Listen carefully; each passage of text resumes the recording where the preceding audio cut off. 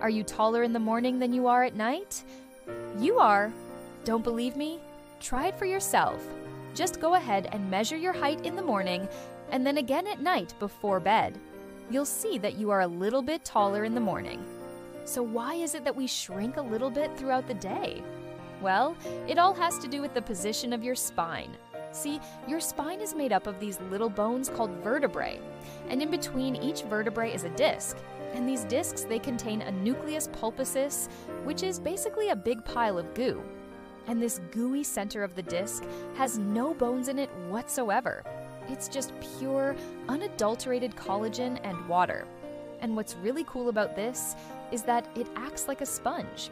When you're young, your discs can absorb a lot of water and expand. And that's why you're a little bit taller in the morning after sleeping. All night, your spine is getting compressed from the weight of your body. And since you're not moving around much while you're sleeping, the discs have time to rehydrate and expand, making you just a tad taller. But as you get older, your discs start to lose their ability to absorb water. They become more and more dehydrated, and your spine starts to compress more and more throughout the day. And by the end of the day, you've lost a little bit of height. In fact, some people lose as much as an inch of height by the end of the day. So, if you want to be a little bit taller, just stay hydrated and drink lots of water throughout the day. Or better yet, get some exercise, because exercise actually increases the amount of water your discs can absorb. Now, I'm going to leave a link in the description to a study that shows that you can actually increase your height by five years with exercise. I mean, isn't that crazy? It's literally true.